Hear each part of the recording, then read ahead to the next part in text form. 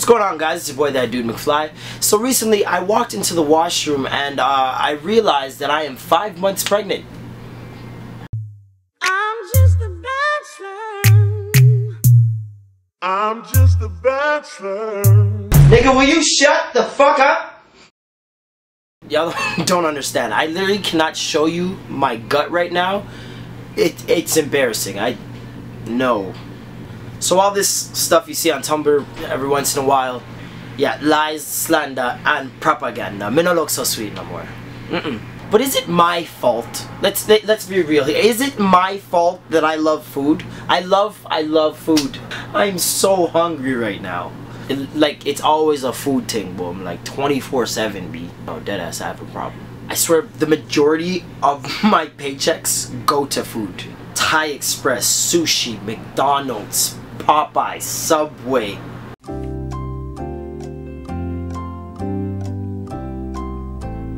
KFC, like, holy shit. And I know when you're on a workout tip, you have to be like eating right and all that shit. And telling me to eat right means not eating what I want to eat. So that's like telling me I can't see like my best friend. My best friend tastes so good. Especially when summer comes, at some point you just feel like, feel like having my fucking shirt off.